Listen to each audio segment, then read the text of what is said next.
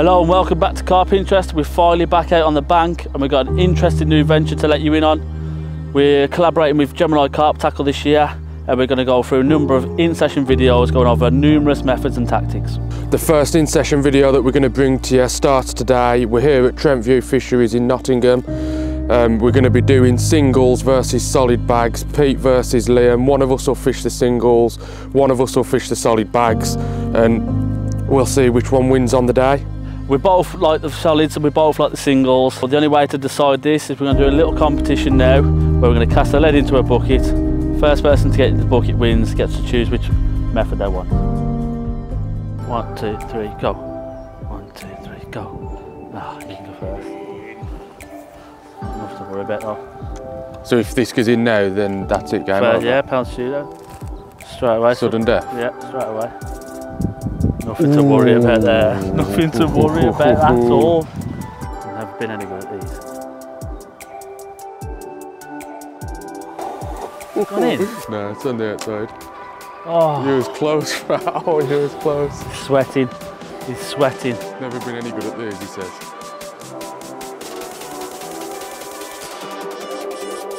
We're definitely going to have to edit this. We're making ourselves look terrible. Oh! oh Worse.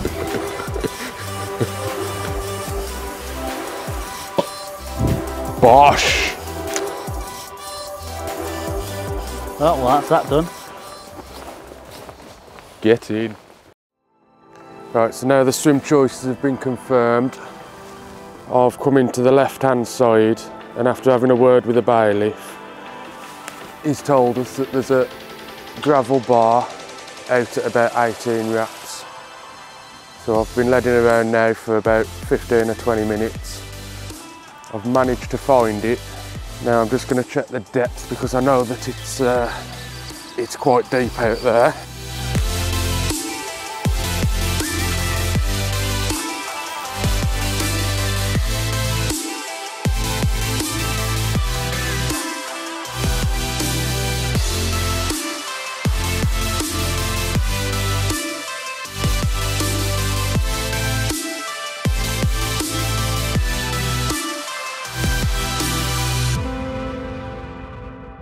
So swim side and tactics chosen. Let's get this competition started. Solids versus singles. See you on the other side. Let's go. Oh. oh let's not. Stay still. Ah, oh, you. First rod of the competition going out. Solid bag. Bit of a crosswind, so I hope I nail it first time.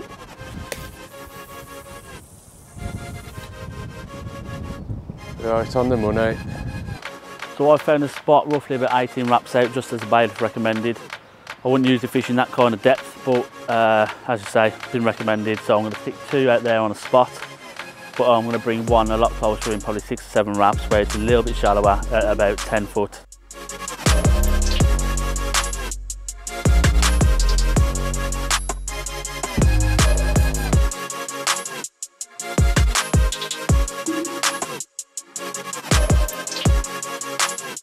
Um, I've gone for the solid bags, which looking now, I regret my decision a little bit because the crosswind is savage and getting a solid bag out there first time isn't easy.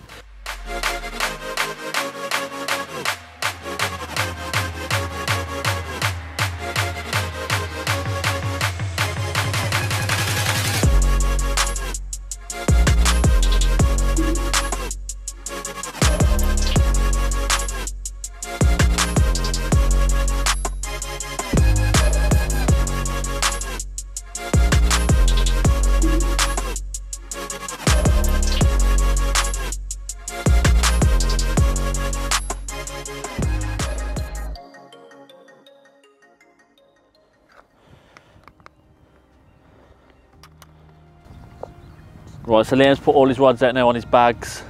All my singles are out. Uh, we're at different lengths, so which is good for both of us. I'm just going to top my spot up with uh, four or five spoms. Ready for the evening, and uh, that'll be me until tomorrow then. So that's the first day I come to a close, and although it's been a fairly unproductive day on the fish front, I think we've uh, it was expected. We've learned a, a fair bit about the swim now and there's the stuff that we can take into tomorrow and I'm sure it will be more productive as the session goes on.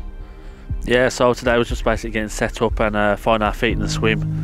Where we've got a few ideas we're going to go with uh, tomorrow, but yeah, so tomorrow I'll be up early, early doors, sort some rods out, change a bit of tactics up and go through more in depth on the rigs. But for now, we're going to get a brew on and uh, have a little chill and then get back at it tomorrow.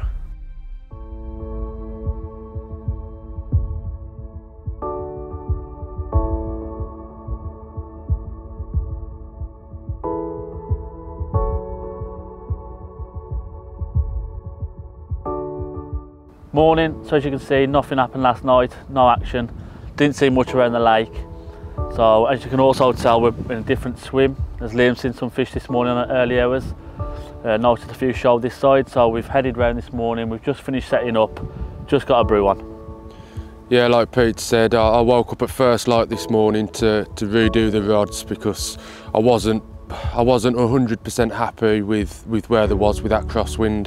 So the plan was to get up, bring them in a little bit closer, find a spot and, and try and counteract that crosswind. But as I did get up, I saw some fish showing behind us now. We've jumped into pegs 22 and 23. Um, so that was that was all it took really to to wake Pete up and get the cars loaded and round here. And on this peg, we've got the wind blowing right at us. Uh, it's right in our face.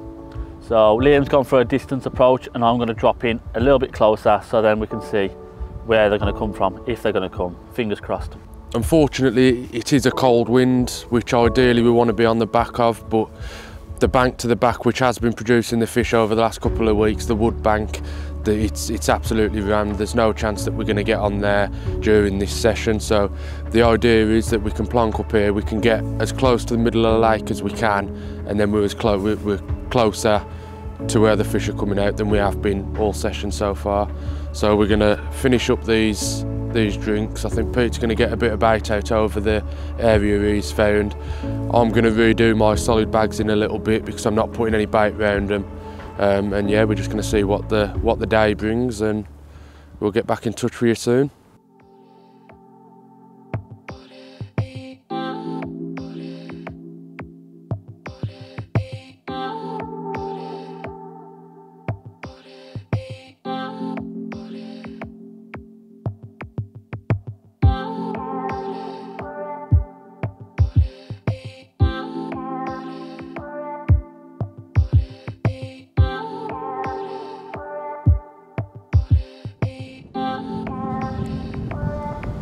So at the blue, Liam's only going to let himself a little run. Just battling away with it now. Wind's still hammering us in the face.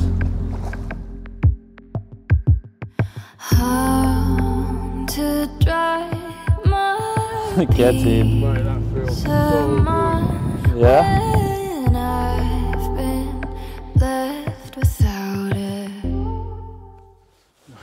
We needed this. A little bit of a confidence boost. Yep, got it.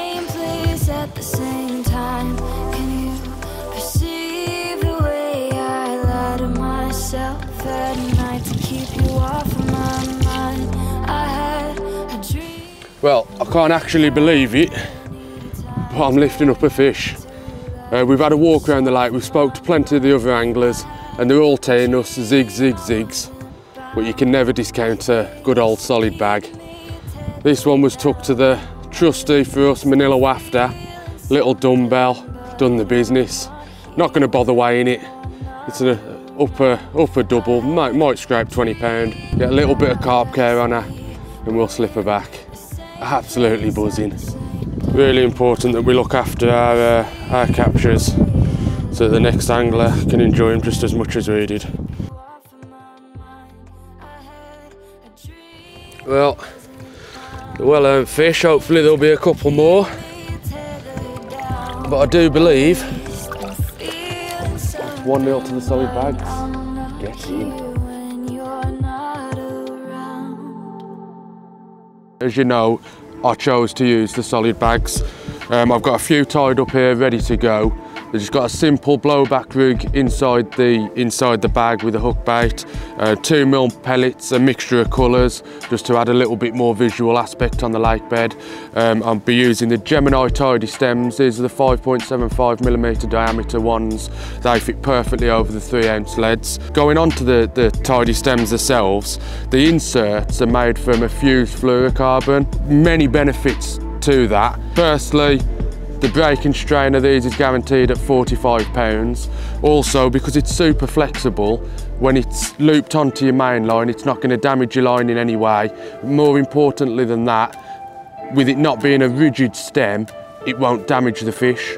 And the beauty of these is that you can tie loads of these up either before your session when you've got a spare couple of hours at home or when it's wind and terrible conditions like we have today. You can sit in your bivvy nice and warm, get loads of them tied up ready for a break in the weather when you can get them back out on the spot.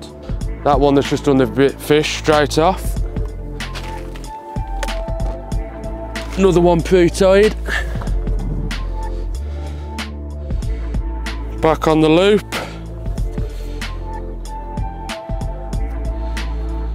We're back fishing again.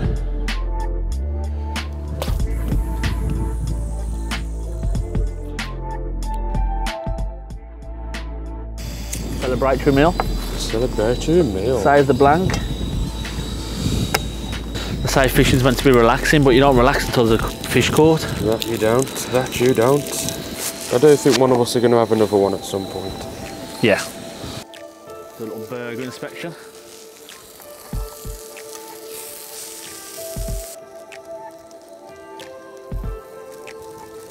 I need you to honour me my burger. Well, I've got to give it you. Yeah? Give it the good old uh, mighty test.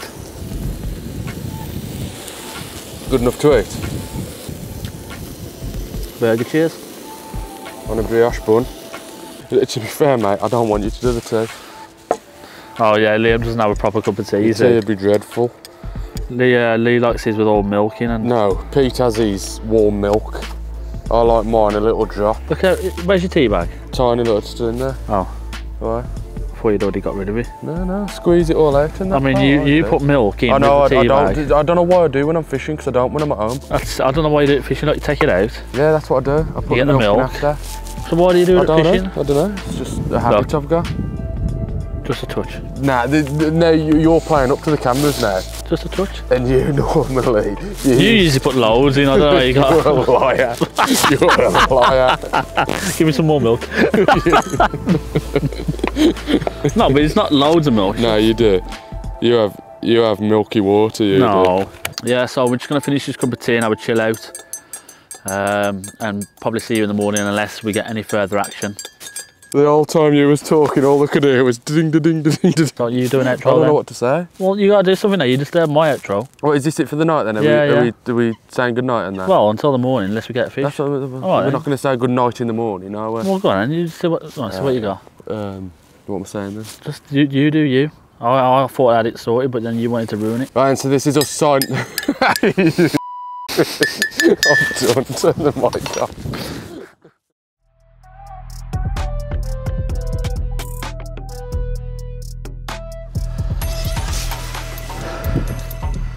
So it's just about half past four, five o'clock. Very early in the morning. Save me a little blank.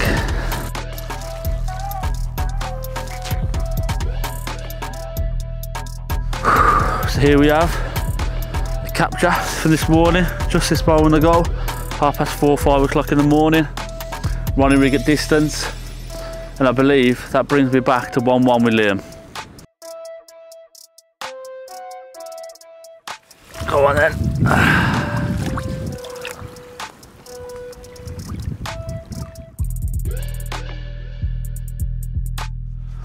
I believe that's 1-1.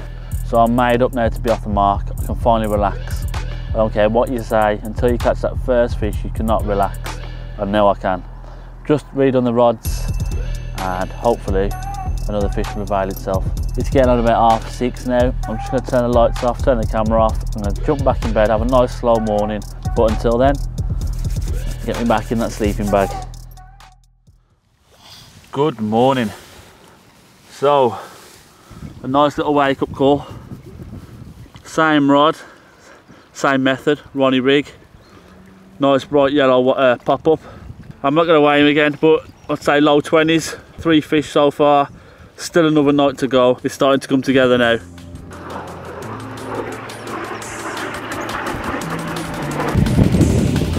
believe that's two ones for the singles.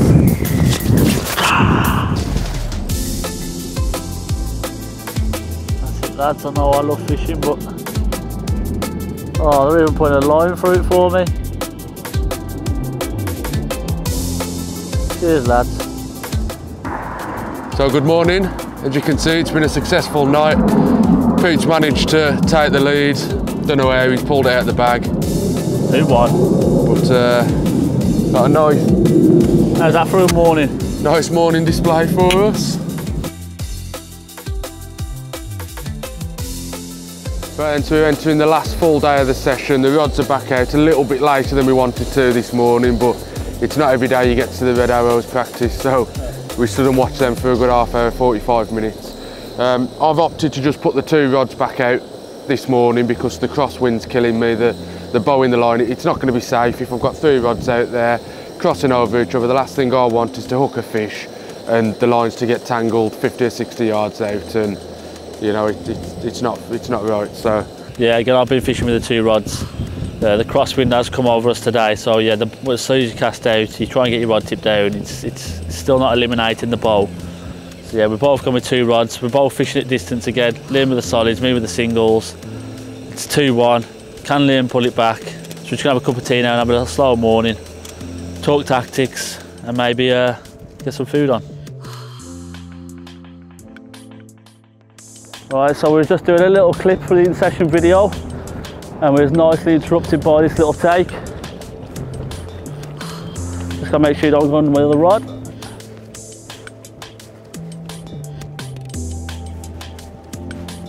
No, it's hard to tell at the minute. It's hard to tell.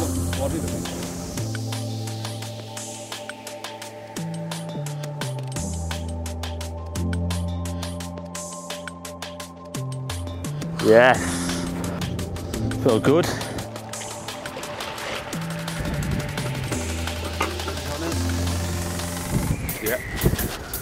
31. Play on four.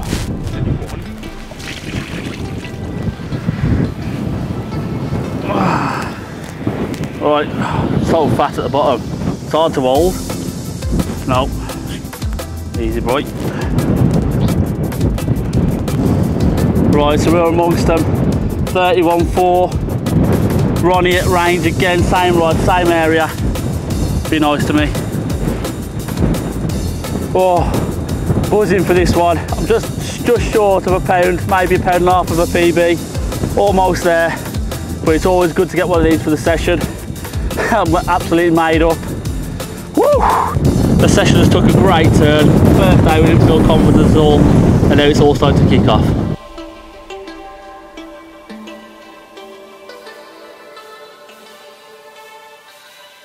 Right, I'm just going to run you through my tactics, uh, what approach I'm taking. So in this session, I'm going to be using the Gemini Tidy Booms for the Turbo German and the Ronnie Spinner. It's available in 5.5 inch, 7 inch and 9 inch.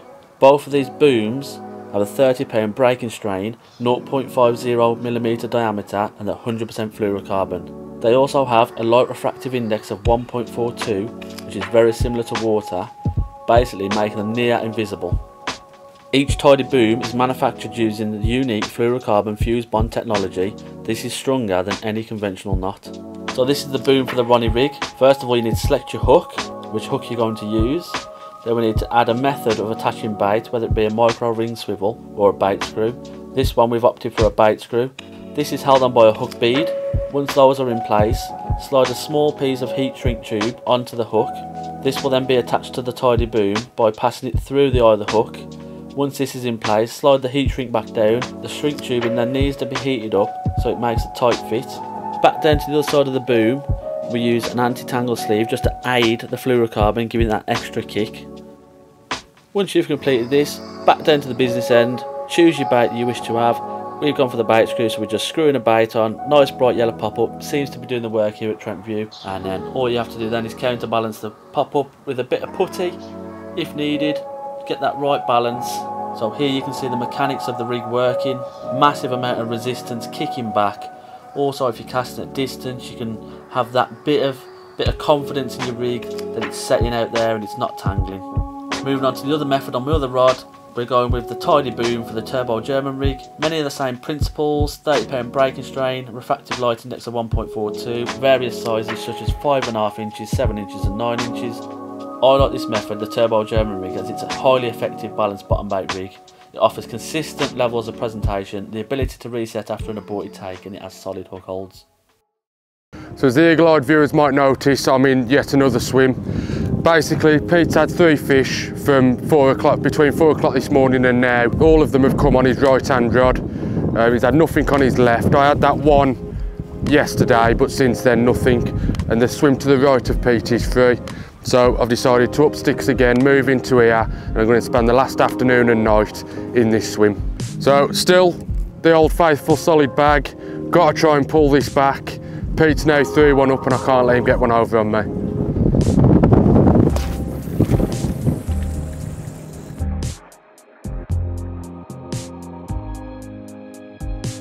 Right then, so the move seems to have paid off again. Just hope I can get this one in. It feels, I don't want to jinx it, but it feels like it might be a slightly better fish. At the minute, just to get me back in the game, I'd take anything. Comment.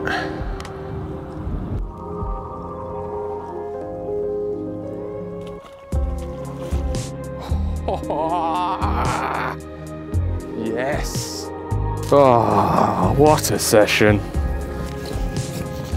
Another one on the bank. Right then, so the move of swim again has paid off. I'm back on Pete's uh, on Pete's coattails. The first common of the session. The importance of moving swims when it feels right, and it, it certainly did. All Pete's bites come from his right hand rod. I felt like I was just out of the way of them to the left hand side of Pete, so I decided to move over and it's uh, it's paid paid good again. A night left to go, the rest of the afternoon and a night left to go. Yeah. Tell you what, the quality of the fish in here, you, you can't knock it. Every single one has been absolutely pristine. There's a solid cut the lead down to just one on the singles.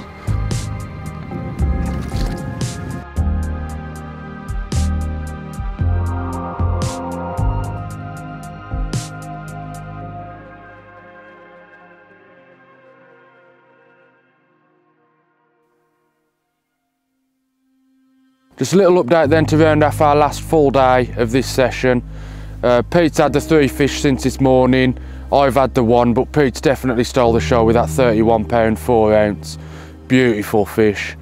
Um, the, the move, mover pegs again for me worked today. One last night to go, couple of hours in the morning. We got to be off by half past nine off the peg. But yeah, it's been a, been a brilliant session. And to be honest with you, I think we're both still confident that we might get woken up in the night or at least get one in the morning. So I'll say good night for now and I'll see you either in the morning or through the night with another fish.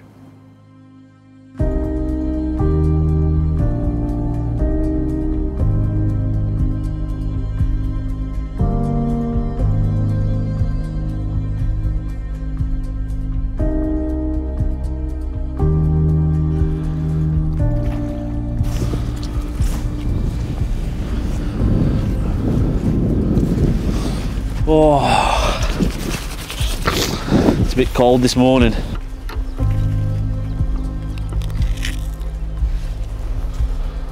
Scores on the doors. 27 and 27 4. We'll take them ones. Yeah. Well done. What's that? Three three. 3 3. Oh, I tell you what. First light bite for me to round the scores up at 3 3. And I've got amongst the better fish too. Not quite Pete Stamper fish, but 27 pound 4 ounce. My biggest of the session and I'll certainly take it. As I said, that makes the scores 3-3 now with about four hours of the session left. All to play for. That rod's already back out on the spot because with such such a short amount of time left of the session, I figured I'd get the hook out in the in the water, leave this one resting safely there and get that rod back out hoping to snatch the win. Fish number three for me now. Again, the solid bag, yellow northern waft. It really does seem that yellow's doing the business. All three of Pete's have been yellow pop-ups. And yeah, it seems that yellow is the, uh, the way to go at Trent View Fisheries. I can go home now, an happy man.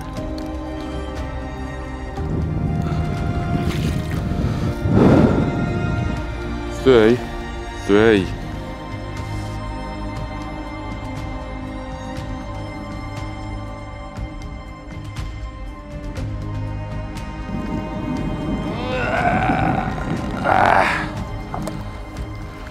And that just goes to show once again the tidy stems, how important it is. I've got a couple of bags tied up just in case this scenario happens. I've managed to bring the last fish in, get it sorted, rod straight back out and within a minute of the fish going back, the rod peels off again.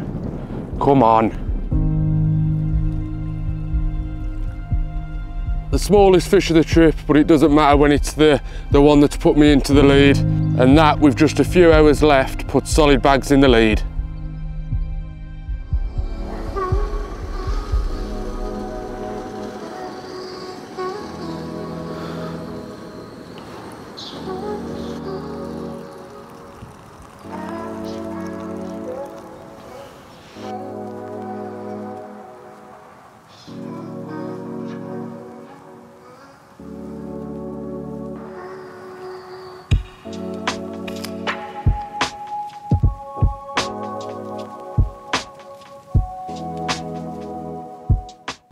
That brings the session to an end. As you all saw, it was a slow start, but then it turned into a productive one.